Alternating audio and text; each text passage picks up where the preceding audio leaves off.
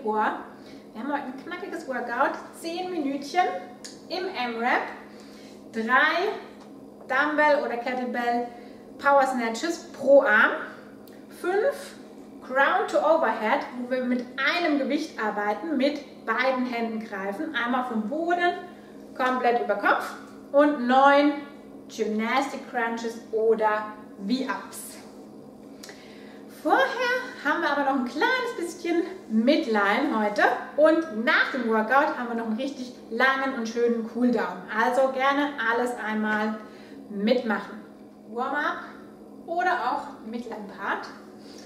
Wir starten mit einem 5 Minuten AMRAP, 6 Strict Sit-Ups, das heißt einmal, wenn ihr eine App mit habt, gerne benutzen oder auch Kissen einmal unter den unteren Rücken legen. Füße zusammen. Jetzt halten wir die Arme immer vorne, legen uns einmal komplett ab und wieder nach oben. Gerne hier vorne einmal Boden berühren, hinten einmal ablegen und die Arme bleiben nah am Körper. Sechs Strict Sit-Ups. Danach zwölf Shoulder Taps in der Plank. Das heißt, ihr geht einmal rein in den Stütz, Schulter nach oben raus, Bauch und Po fest anspannen und dann heißt es einmal eine Hand vom Boden lösen und jeweils die Schulter berühren. Hier schön stabil bleiben und so wenig wie möglich nach rechts und links wackeln. Immer im Wechsel, zwölf Stück insgesamt. Und letzte Übung, zwölf Alternating Windmill. Die machen wir komplett ohne Gewicht. Das heißt, ihr dürft euch einmal breit aufstellen, Zehen gerne nach außen zeigen lassen. Dann ein Arm auf den Oberschenkel, ein Arm Richtung Decke. Jetzt geht der Blick Richtung obere Hand und ihr könnt gerne hier am Bein entlang nach unten fahren und wieder aufstehen. Gleiches auf der anderen Seite.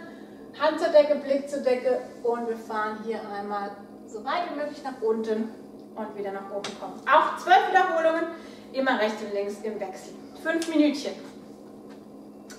Danach gehen wir rein in ein Tabata. Das heißt, acht Runden mit jeweils 20 Sekunden arbeiten und 10 Sekunden auch arbeiten. Und zwar 20 Sekunden machen wir Dead Bug. Das heißt, einmal ein kleiner Käfer auf den Rücken legen, Knie ranziehen und Ellbogen Richtung Knie zeigen lassen und das Ganze halten wir. Die Schulter ist immer weg vom Boden. 20 Sekunden halten und danach gehen wir rein in 10 Sekunden Tuck Hold. Direkt, ohne Pause. Habt ihr die Möglichkeit, euch irgendwo aufzustützen, Parallels oder sonst etwas, gerne auch zwischen zwei Stühlen zum Beispiel, dann gerne die Variante machen mit in den Stütz gehen, Knie ranziehen und das einmal für 10 Sekunden halten. Oder das Ganze könnt ihr auch am Boden machen und dann heißt es einfach Füße weg vom Boden und hier einmal die Hände nach vorne und das Ganze halten ist in der Kombination mit dem Dead Bug und auch in der Kürze der Zeit, die wir ja nur haben, wahrscheinlich sogar die bessere Alternative. Also, 8 Runden, 20 Sekunden Dead Bug halten und 10 Sekunden Tuck Hold halten. Danach gehen wir direkt rein in die Prep fürs Workout. Das heißt, ihr braucht jetzt eure Dumbbell oder Kettlebell und wir machen drei Runden, zwei Snatches pro Seite, drei Crown to Overhead und vier V-Ups oder Gymnastic Crunches. Für die Snatches, die sind einmal vom Boden mit der Dumbbell, einmal drüber stellen, Hip nach hinten, bis zum Boden greifen, einmal aufheben, Hüfte öffnen, nah am Körper ziehen und dann setzen wir uns einmal drunter. Das Ganze für zwei Wiederholungen pro Seite und gerne schön zügig arbeiten. Für die Ground to Overhead benutzt ihr jetzt ein Gewicht mit beiden Händen und es geht darum, dass vom Boden einmal komplett ausgelockt über Kopf zu bewegen. Das muss kein Clean and Jerk sein, sondern wir versuchen nah am Körper vorbeizugehen.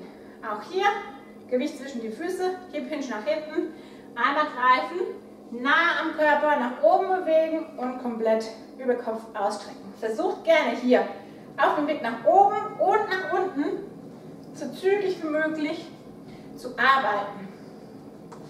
Es geht auch mit der Kettlebell. Da müsst ihr ein bisschen rumprobieren, wie ihr die halten wollt. Entweder umgeklappt, einmal Griff und einmal Boden greifen, über Kopf.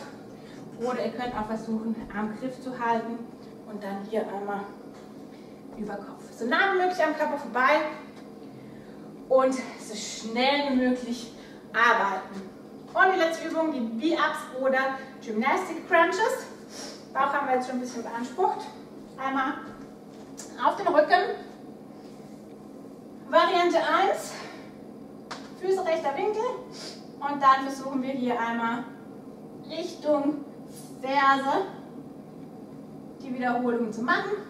Gerne auch mit Hände über Kopf und dann Füße gestreckt.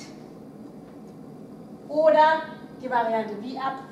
Das heißt, Füße gestreckt, Arme gestreckt, Schultern sind weg vom Boden und wir klappen einmal über den Körper zusammen. Also zwei Snatches pro Seite, drei Crunch Overhead mit beiden Händen, vier Gymnastic Crunches oder V-Ups für drei Runden. Und dann seid ihr schon ready fürs Workout. Zehn Minuten auf der Uhr einstellen und dann heißt es drei Power Snatches pro Seite, fünf Ground to Overhead und neun Gymnastic Crunches oder V-Ups. Anschließend, wie versprochen, noch ein ganz entspannter Cooldown. Ihr dürft euch jeweils eine Minute auf der Uhr einstellen und wirklich auch eine Minute pro Übung Zeit nehmen. Erste Übung, Pitchen. Wir machen wirklich eine Minute rechts vorne und eine Minute links vorne. Das heißt, Knie einmal nach vorne nehmen und hier versuchen, ein bisschen zu entspannen.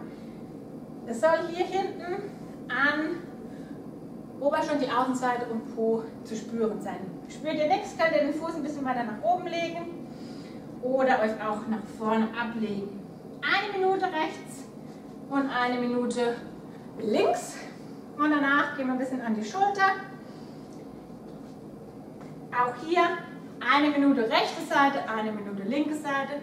Wir gehen einmal unterm Körper durch, legen uns auf der Schulter ab und das können wir ganz entspannt halten.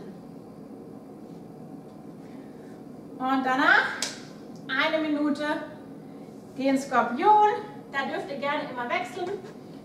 Einmal auf den Boden ablegen, Hände rechts und links nach außen strecken und dann linker Fuß geht Richtung rechte Hand. Immer im Wechsel, so dynamisch wie es euch gerade gefällt. Und die letzte Übung, auch wieder eine Minute, den Fersensitz. Also genau, so wie ich gerade schon ganz bequem saß, einmal sitzen bleiben. Und jetzt wollen wir nach hinten uns so weit wie möglich ablegen. Also Variante 1, erstmal Hände hinten aufsetzen. Wenn es gut funktioniert, versuchen ein kleines bisschen tiefer zu gehen, vielleicht die Ellbogen aufzusetzen und wenn es immer noch gut funktioniert, gerne auch mal versuchen abzulegen, vielleicht ein Kissen drunter nehmen und das für eine Minute halten. Dann machen wir vorne alles auf. Dann wird das jetzt ein ganz geschmeidiger Tag. Schön, dass du da warst.